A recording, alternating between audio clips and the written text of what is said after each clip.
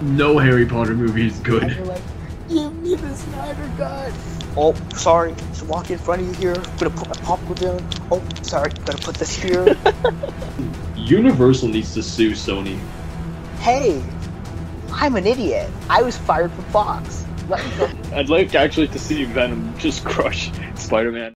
Hello, everyone. So I'm back today with my first weekly review of The Bad Batch. Yes, that's right. Weekly reviews are back after ignoring them for like the last seven Disney Plus shows that came out.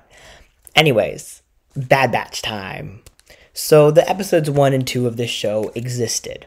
I Gotta tell you, I absolutely love them as I have the entirety, or at least the second half of the first season. Um, this show is something which is just amazing. Like, it is really just spectacular in every way. And, you know, going back to Dooku's castle and, you know, really revisiting Dooku's kind of time in the Clone Wars or Dooku's palace, or whatever. And it, it was really, really amazing. Um, I just I think this show you really got to see a lot of the depth of some of these characters, especially Omega, and you know I think the first season, at least the first half of it, really lacked real substantial depth for these characters.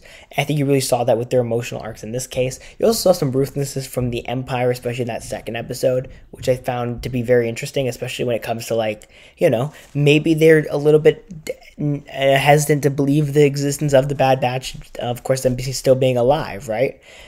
so I think that'll be that's a very interesting kind of thing, and also the moral questions, which we know were things that were going to come up continuously, and that they've continued to show kind of that they are still pre- prevalent and relevant in this show, which is those idea of are they actually doing any good, or should they be doing more good? Because you look at the Empire and what they're doing, and maybe the whole being pirate thing is not really that great of an idea.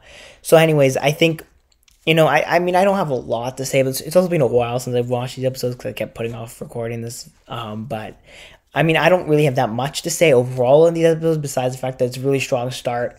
I do need to see what they do because I don't, they're obviously we can't see the bigger plot being built out right now. Right now, this is very much just a dip your toes in. Here's some bad batch stuff. Also, it feels like they've kind of reduced their powers.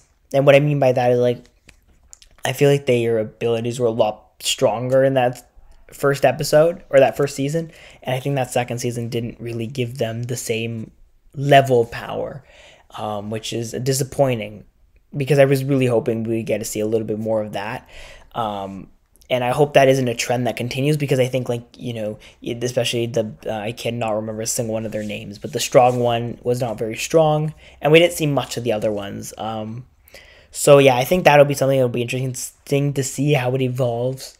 Um, I liking they're putting more focus on Omega in a way they didn't before. I wonder if they're going to do the same kind of usual emotional arc of like, oh, we're going to put you, throw you away for your own good, or like get you know get rid of you for your own good, and then that kind of thing. I don't know. Although I did again, I love the episodes and I'm biased, so maybe I'm wrong, but I thought it was really good. And I love animated Star Wars; it's always top notch uh, apart from like the Resistance show. But yeah, let me know what you think of this show down below. Are you guys enjoying the first episodes? It's hard to talk about them because there isn't that much to talk about. I felt like even those two episodes, um, because we haven't seen a bigger plot get built out, it was literally just one self-contained story, which was cool, but like not great. Um, but yeah, let me know again what you think down below. Don't forget to like, subscribe, comment, share your thoughts, follow us on social media, and all that stuff. And I'll see you next time. Bye bye.